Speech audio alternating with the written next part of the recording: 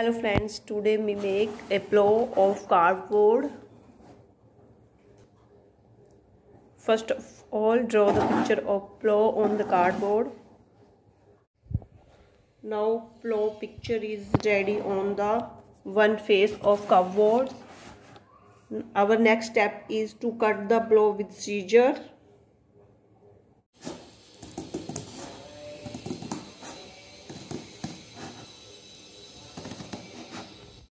after cutting the plow is ready.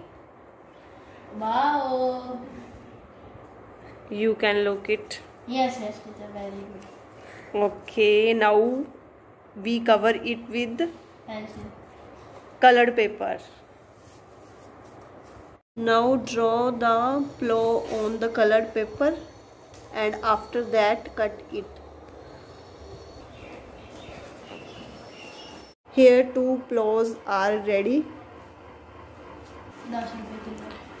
here two colored paper are cut for one plow. One is paste front of the plow and one is paste back side of the plow. And for the second also two papers colored paper are cut in the shape of plow. One is based in back side and one is based in front side two flows are ready. Now we paste here.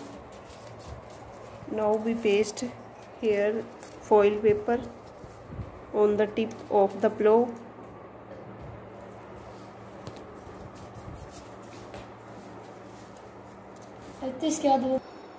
now the two flows are ready.